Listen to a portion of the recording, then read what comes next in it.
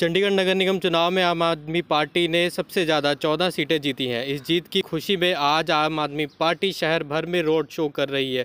Road show के लिए आम आदमी पार्टी के राष्ट्रीय संयोजक एवं दिल्ली के मुख्यमंत्री अरविंद केजरीवाल शहर में पहुँचे हैं।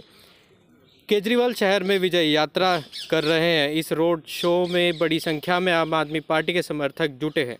वहीं पार्टी के जीते हुए सभी पार्षद नेता व कार्यकर्ता इस रैली में शामिल हैं। आइए दिखाते हैं कुछ तस्वीरें। आज आप आए हैं यहाँ पर विक्ट्री मार्च करने के लिए। किस तरह से आप देखते हैं सर? सबको आज आप चंडीगढ़ आए हैं। भारी जो है सीट जो है यहाँ पर। चंडीगढ़ के लोगों का शुक्रिया अदा करने के लिए आए हैं। चंडीगढ़ की जनता ने आम आदमी पार्टी की ईमानदार राजनीति में भरोसा किया विश्वास किया और इतना अच्छा बहुमत पहले चुनाव में ये पहला चुनाव है हमें दे के जिताया।